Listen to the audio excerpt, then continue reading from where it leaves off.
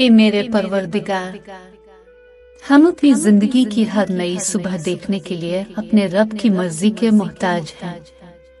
बेशक वो जैसे चाहता है जीने और तौबा की मोहलत देता है।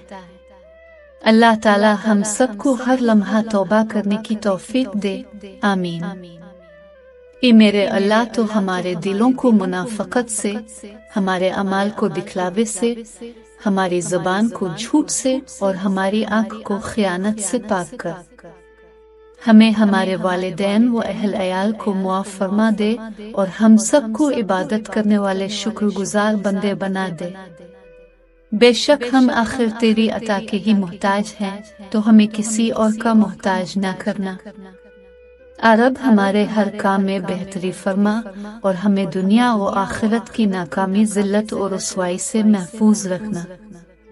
मेरी दिली दुआ है कि रब आप और आपके अहल खाना को ताहियात तंदुरुस्त और शाद आबाद रखे और नमाज़ की पाबंदी नसीब फरमाए। हमें आजिजी, इनके साली और दरगुजर करने वाला बना दे। आमीन।